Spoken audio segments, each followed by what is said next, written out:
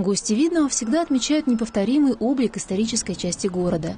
Каждое здание, будь то жилой дом или учреждение, представляет собой уникальное сооружение, а все вместе образует ансамбль, добавить или убрать из которого только исказить произведение, написанное архитекторами середины прошлого столетия.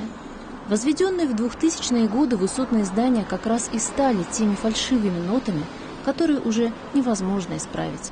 Если посмотреть за мной, располагается многоэтажное здание, буквально от э, центральной части, от площади Советской.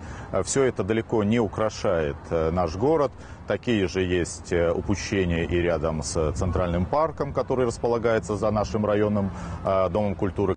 Больших усилий стоило сохранить некоторые здания, представляющие огромную ценность для города. Дом культуры, который в настоящее время фактически обрел новую жизнь, но при этом удалось сохранить все те уникальные элементы его архитектурного облика, а также кинотеатр «Искра».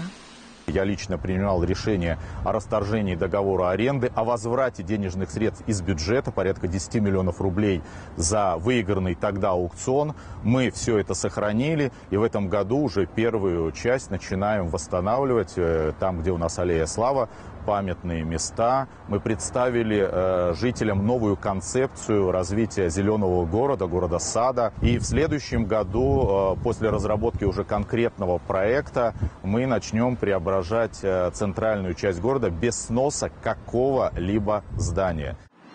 Работа по сохранению исторической части города проводится при участии краеведов района, которые также заинтересованы в том, чтобы центр Видного оставался той изюминкой, какой он был на протяжении многих лет. Все самое лучшее, все самое ценное, то, что нам подарили отцы-первостроители, мы должны сохранить и приумножить.